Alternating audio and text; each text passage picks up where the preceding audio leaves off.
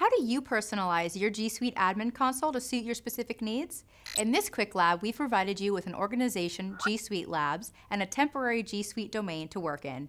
You will make some basic modifications to a G Suite admin console and then modify the company profile.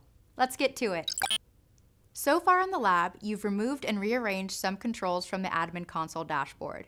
Here we are customizing the company profile and adding a support message that users will see when they can't sign into their G Suite account.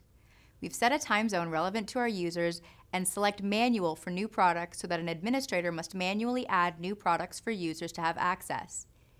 In the lab, you will also get the opportunity to bulk add users using a CSV file and to log in as one of your newly created users and experience it from a user perspective. In case you're not familiar, Qwiklabs is an online hands-on lab library available 24 hours a day, 7 days a week, with more than 150 labs on every cloud topic from intro to expert level. Each lab helps you learn a new skill in about 30 minutes using Google Cloud. When you're ready, use this link to take the lab we just went through today, and when you're ready to sign up for GCP, use this link to apply a $300 credit to your account.